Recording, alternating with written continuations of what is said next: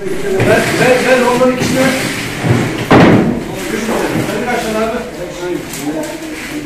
abi? Sen kasa çek mi gelmiş şuraya? Kasa çek. 11 ayın sultanı Ramazan ayında vatandaşları tatlı telaş sardı. Vatandaşlar fırınların önünde sıcak pide alabilmek için kuyruk oluşturdu.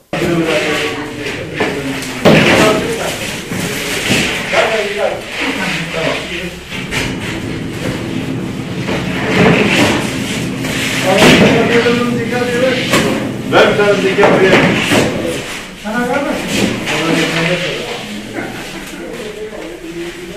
Tamam, yeni de ver. Sen, sen al, zeki buraya. Doğru diyor. Salih.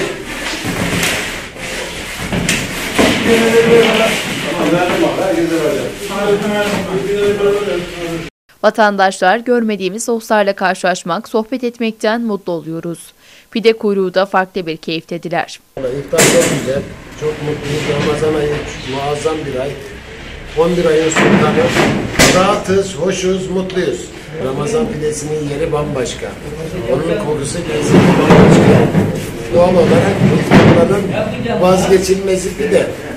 Fırıncı Çaban Recep Ket Hüda'da sıcak Ramazan pidesi satışlarına vatandaşların yoğun ilgi gösterdiğini ifade etti. Şu anda pide satışlarımız e, gördüğünüz gibi halinde şu anda devam ediyoruz.